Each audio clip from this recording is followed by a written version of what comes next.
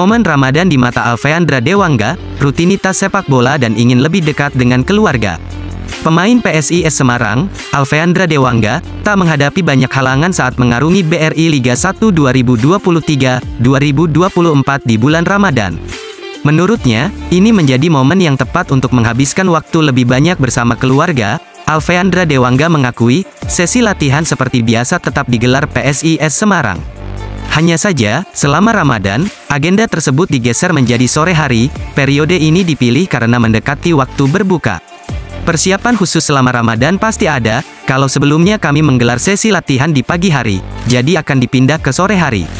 Karena, pemain-pemain yang muslim kan harus menjaga kondisinya sampai buka puasa. Namun, kalau untuk persiapan-persiapan menghadapi pertandingan ya normal-normal saja, kata Dewangga dalam sesi bincang-bincang di kanal YouTube PSIS. Dewa berharap, momentum lebaran ini bisa membuatnya lebih dekat dengan keluarga, pasalnya, jika melihat pengalaman tahun lalu, dia harus menghabiskan waktu lebih banyak bersama tim nasional. Acara buka bersama lebih banyak bersama keluarga, karena saat ini saya harus lebih banyak bersama keluarga, dari tahun-tahun sebelumnya, saya cukup jarang berbuka bersama keluarga. Karena, biasanya ada kesibukan bersama tim nasional, jadi, semoga tahun ini bisa lebih banyak menghabiskan waktu bersama keluarga. Kalau tahun ini, sepertinya bisa berlebaran bersama keluarga, karena kompetisi BRI Liga 1 masih ada, tegasnya. Tiga bomber naturalisasi opsi menarik PSIS Semarang.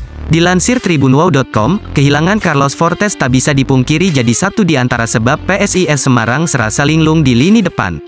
Melihat sulitnya lini depan tanpa bomber murni sepeninggal Carlos Fortes, PSIS Semarang harus segera mencari opsi pengganti musim depan.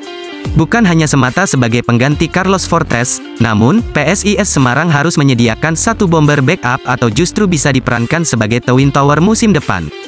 Dan opsi yang layak dipertimbangkan adalah on fire-nya tiga pemain naturalisasi di gelaran Liga 2 2023-2024. Fisik yang selayaknya pemain asing bisa menjadi penawar ketika PSIS Semarang harus kehilangan bomber asingnya baik akumulasi maupun cedera atau bahkan hengkang. 1. Beto Goncalves. Istilah makin tua makin jadi layak disematkan kepada bomber gaek milik PSBS Biak, Beto Goncalves. Bukan hanya bertuah magis dengan dua kali berturut-turut kans bawa tim ke Liga 1 dan juara Liga 2, Beto Goncalves juga masih terbukti tajam dengan catatan 9 gol dan 4 assist untuk PSBS Biak. Statusnya yang hanya sebagai pemain pinjaman dari Madura United Kans membuat namanya menarik atensi klub Liga 1 untuk memboyongnya. Kunci keberhasilan PSBS Biak bukan hanya ada pada Beto Goncalves dan Alexandro.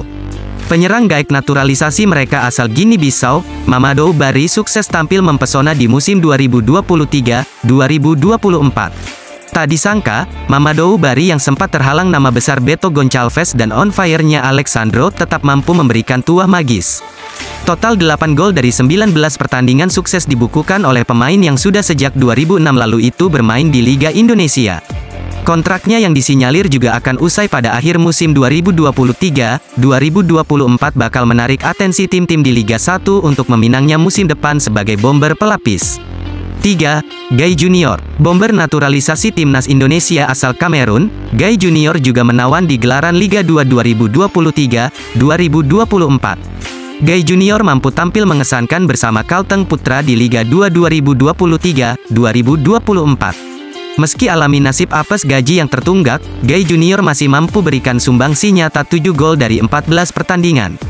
Kansnya untuk didatangkan klub Liga 1 musim depan terbuka lebar. Mengingat, Kalteng Putra harus puas terdegradasi ke Liga 3 2024-2025.